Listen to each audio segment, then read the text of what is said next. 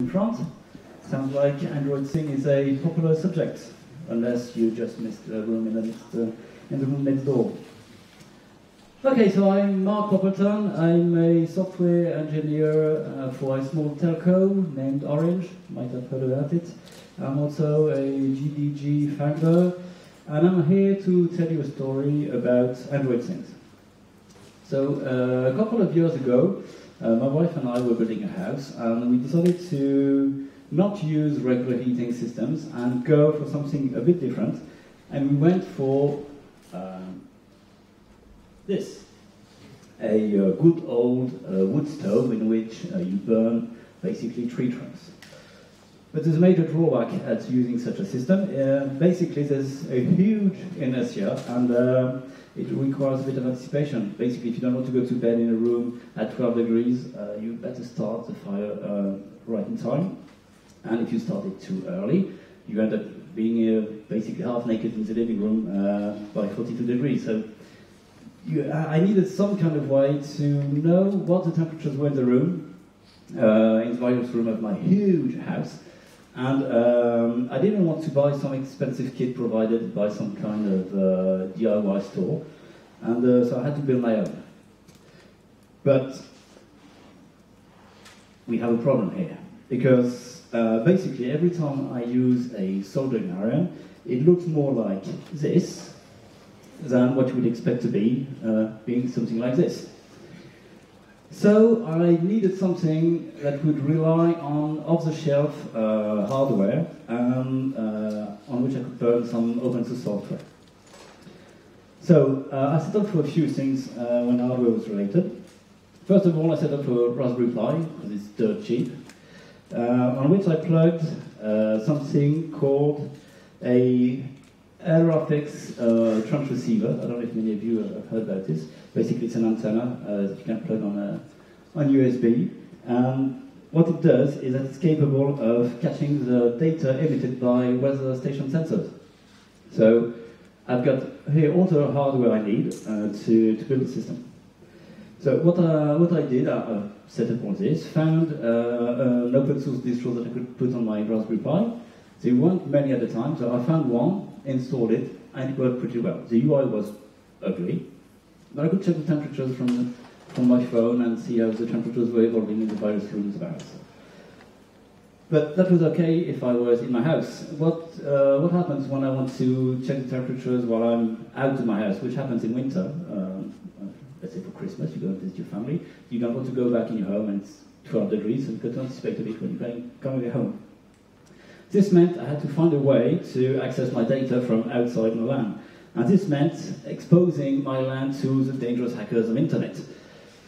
So well, I put my sleeves up and decided, okay, I'm not a sysadmin, but I'll just try and do some do my best. So I, I set up a DMZ with HTTPS uh, signing keys, thanks Let's Encrypt for the free keys and everything. I managed to have something up and going, and it was okay. So this worked for many, many years. Until one day when my router burnt and I had to change it, and of course all my DMZ setup was to rebuild. I said, well, beep this shit, and uh, I'm going to do something else, I'm just fed up with all this clunky stuff. And in the meanwhile, Android things uh, had uh, appeared. And I was wondering if I couldn't replace my distro running on my, Android, uh, my Raspberry Pi with Android things. Who among you have heard about Android things? Good. How many of you hack or have hacked things for Android things? Much less. Okay, so for those of you who didn't raise hands, um, Android things basically it's a full-blown Android core with dedicated IoT uh, APIs added, and it runs exactly uh, like you would expect an Android device to do, and you can build applications or Android things with your regular toolware, which means if you have Android Studio, you're ready to go to build uh, applications for Android things. Just one thing, you don't need to be connected via USB to your little device.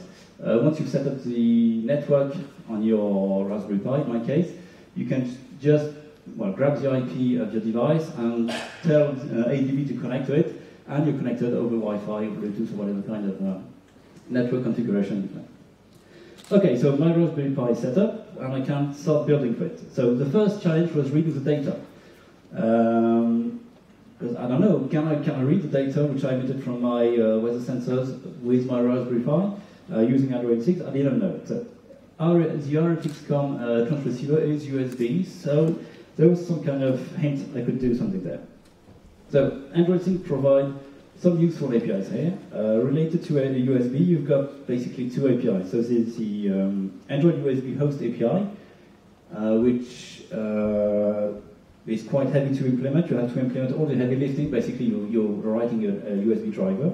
Or you can use the uh, Android Things peripheral I.O. API, which enables you to uh, drive all the GPIO on your Raspberry Pi, uh, the uh, U, um, I2C, and uh, also the serial connection. Good thing for me, the antenna I was using is seen as a serial device when you plug it in USB, so I, I can go with a peripheral I.O., which is exactly what I wanted to do. So all I had to do now, uh, because I know that my uh, peripheral is seen uh, as a serial device on my Android thing, all I need to do is add a little intent in my manifest to say, well, trigger my application every time a USB device is attached. So just by adding this intent at the top part, your, your application will be launched every time you, you plug in a USB device. You can filter it because I don't want to, my app to be launched by any kind of USB device plugged in. I just want my internet to be uh, uh, provoking triggers. So you can add a, um, a filter, a device filter uh, XML file, where you can say, well, um, I'm only reacting to products with such product ID or vendor ID. But once this is done, uh, it's just a matter of checking uh, with your nice Kotlin code uh, checking that the connected USB is the one you expect or not. And if it's the one you expect, well then all you have to do is uh, open a serial connection, set it up with all the regular uh, hassles of uh, serial connections, so that's baud rate, parity bytes, and all this kind of crap. And once this is done, all you have to do, you set a handler and wait for that uh, data to come pouring in uh, on your serial connection, which you can then plug into a function which will read your buffer. And what you usually do when you're debugging something, uh, first thing you do is printing it on the console. So let's see what happens. Yes, it works. So I have my Raspberry Pi receiving data emitted from my weather sensors around the house and writing it uh, into my console. Well, probably, I don't know for you, but I don't understand a single line of what is being poured out on the uh, on the syslog here. So I've got to find a way to make it make it a bit more readable. The huge advantage, sorry, of open source, apart from being a source of free software, is that it's also uh, an opportunity to read existing code and well, understand how, how things are being implemented and re-implement them uh, in another way. So what I did, I dived into the uh, source code of the distro that I had previously previously used. I almost drowned in C++, but managed to get up just in time to well extract the specs of the uh, RFXCOM uh, transfer receiver I was using, and then I could re-implement it in a more developer-friendly language, Kotlin, for example, and then uh, add nice things like provide uh, human readable uh, outputs and redo my tests. So this is what we get now. It's printing out uh, more understandable information. I have uh, what signal levels, I have battery levels, but I also have temperatures and humidities and well, device IDs. I can now start, start to build a more uh, human-friendly uh, service. So this is printing on the console, that's fun, but me, what I want to do is pull out my phone in my pocket and check the temperature. So I've got to publish uh, my information in some kind of way. So remember when I said that uh, Android, Android Things is a full-blown Android core? What that means, you can add libraries to your Android Things development, like you would do for regular uh, Android uh, apps. And you can add third-party applications, like, like say, Firebase. So, well, you, you add the dependencies in your, um, in your Gradle file, and once Firebase is all set and done, it's just a matter of writing your data into a Firebase tree uh, node, and basically we're done. So let's see what happens.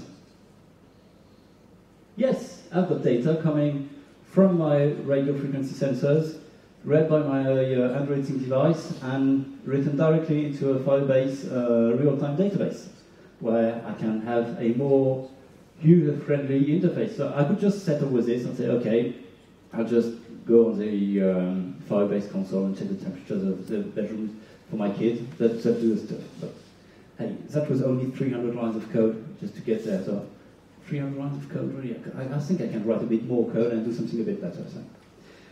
Let's in a companion app, because basically every IoT device has a companion app for the basic reasons that most of them don't have screens, so you need some kind of way to have information. So let's add a module to our Android, uh, Android Studio project and build a companion app. So to do this, I decided to play a bit with the architecture components, and uh, I've used two of those. First is live data. I don't know if you've seen the talk this morning about the architecture components, but I guess you you try to now you know a bit more what you want to do. So live data for uh, well updated data, real-time data, and uh, view model for uh, persisting the state of my data without having to reload it every time it's on the screen. And once this is done, throw in a recycled view, a recycled view adapter, attach it to the view model, and we should be done. And all you have to do is attach your live data to a listener to your Firebase uh, database. And every time there's data written in your database, well, your view model gets updated, your UI should be updated too. Just quick notification, uh, if you've ever played with Firebase for Android, you might have noticed that by default, Firebase doesn't persist your data. That means that if your device is offline and you start your app, you won't have any data, which might be a bit annoying. If you, you might be um, in need of not really up-to-date data, but you might want to have the latest version that was synchronized. If you want Firebase to persist your, your data, you've just got this syntax to add, and you'll say Firebase will save on your device um, the data which has been synchronized. So, does it work? Yes. I've got data pouring in my uh, Firebase live database on the right, and you can see on the left, uh, so it's a screen recording because I, I, knew my demo would fail on the on D-Day, but uh, you've got the screen being updated on my phone in real time with all the uh, information coming from the, um, the database. So I've used some architecture components, but um, I'm not a designer, so sorry for the UI, which might be a bit uh, painful to, to, the eyes. If some of you are good in design and want to help me on this project, you are most welcome to join. So I've some kind uh, achieve what I wanted to do. I've got an application which is running anywhere and uh, which allows me to display data and it's in a secure way. I don't have to set up a DMZ or anything. Why is it really secure? I don't know if you've played with Firebase, but by default, Firebase real-time uh, database are public. I mean, read or write. It's not secure at all. If you get the URL of my database, you can just crash everything. So I need, I need a way to, well, sign in. And to do this, um, I want my Android Things device to sign in uh, on Firebase uh, using my credentials. Problem is I can't uh, use the UI and uh, type my Google sign-in uh, credentials to log in. What I need, I need a, a means to transmit from my companion app data to my Android Things and with, let's say, a token which would be used to authentify. So this is where you throw in um, another, um, another API First of all, I'm going to use on my, uh, on my mobile phone the Google Sign-in uh, which will allow me well, to get uh, credentials, which I will then uh, provide uh, to a Firebase auth function, which allows me to build custom authentication um, certificates, tokens, and that can, I can then give to my, to my Android Things device snag is this, year, this works only for the web version of the Firebase Auth API. So I had to find a way to, uh, to host all, all, this. Well, you can do it with uh, another product from Firebase, which is Cloud Functions. So you can do a backend, a serverless backend, and you just have to use a, a few bits of, um, of JavaScript. So using Google Sign-In, Firebase Auth, uh, the um, web Firebase Auth API on a Firebase Cloud Function had a backend uh, which allows me to forge nice authentication tokens. So you can always try to grab one and use it. There's a few Easter eggs in it, which make it invalid. I'm not stupid enough to, uh, to point putting a real token on the screen. So once I've got this, all I need is a means to transmit from my phone to my device this, this token. And for this, you use an API which is named the Nearby API. It's not very recent, it's, it's been around for a few years, but it works with Android Things. Basically, on the Android Things side, you start advertising, saying, hey, I'm a device which accepts connection. On your um, Android application, you start a destroy, trying to find a device, and once uh, well, they see each other, you just request a connection, and then you can say payloads. And using this channel, you can send the token from one side to another. So now I have secured my access to my Firebase database for my uh, Android device, which is great. How long have we got left? A couple of minutes? So maybe we have plenty of time just to implement one last feature. Okay, Google, because now my database is, well, uh. I have already a Firebase uh, cloud function running. Maybe I can, I can throw in a few other things in the, in the mix. So I'll use, uh, I'll use the Dialogflow uh, service to build my natural language understanding engine. And this will build all the rules for understanding my bad French and English speaking. And uh, all, what, all I need is a way to fulfill the, uh, the request and provide understandable information. In Dialogflow, uh, an action for Google, there's something called webhooks, which uh, enable, enables you to provide well, fulfillment. And this you have to implement it yourself on the server. So either you've got your own backend and you implement a function on it, or you're like me, lazy, and don't want to maintain any kind of backend, and you go for cloud function. And all you have to do is implement your, your function on a Firebase cloud function. It only takes, I don't know, how many lines of JavaScript have we got here? Two, four, six, eight, yeah, 12 lines, 12 lines of JavaScript, which enables me now to have a nice Google Assistant um, application that works.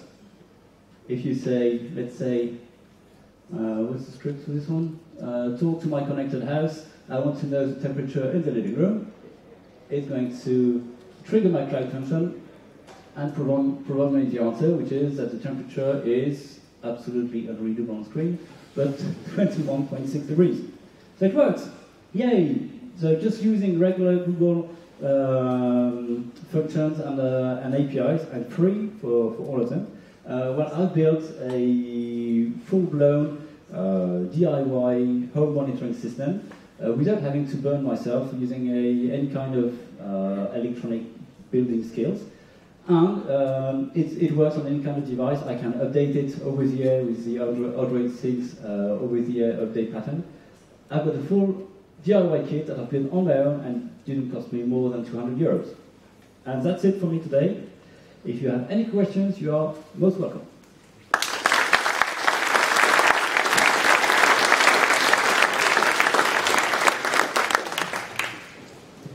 You have questions in French, what are we done?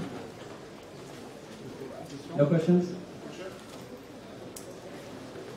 Well, I'm easy to find. I've got a nice t-shirt saying that I'm part of the Son of Raspberry Pi. Uh, so uh, if you want to ask me questions, just follow me in the, in the place and you, you can ask me a question in French or English as you wish. Enjoy!